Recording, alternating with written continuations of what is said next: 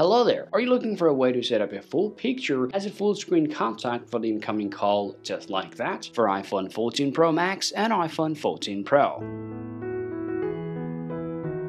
While setting up the full screen contact on your iPhone 14 series is relatively simple. Also, if you don't know how you can set the half screen banner for your iPhone, don't forget to check out the last segment of our video. So let's go ahead and set up the full screen photos for our incoming calls on our iPhone 14 Pro Max. Now if you want to set up a contact with the full picture, first you need to open up your contact. Now you can either save a number or you can choose a contact that you want to set up pictures with. First, I'll just go ahead and open up this contact for example. Now I have to tap on edit. If you tap on edit here, you'll be able to see this option called add photo. Just go ahead and tap on add photo here and now you can see the different things like different emojis more. If you want to set up pictures, you got to choose your camera or gallery. So I'm going to just go ahead and choose my gallery to pick up my picture. So I'll just go ahead and grab my pictures from here. So let's say for example, I want to set this picture for that contact as an example for this video. Now just go ahead and tap on choose here and now you're going to be able to see this. Now your iPhone lets you use a different filter if you want to add it to the contact. Just go ahead and tap on the filter and tap on done, tap on done again. Now just go ahead and get out of here. Now you have to turn on an important setting for your iPhone. First, you gotta open up your settings on your iPhone. Now have to scroll down there and find out this option called phone. Now make sure to just insert your SIM card otherwise you're not going to be able to get to see this option from here. Just tap on your phone here and now you have to just choose this option called incoming calls. Now if you choose this option here you're going to be able to see two different options. First called banner and second one called full screen. So if I choose full screen here, if I minimize this option from there, now let's get a call and see what happens. And then you'll be able to see the full screen is going to pop up on your screen screen on your iPhone.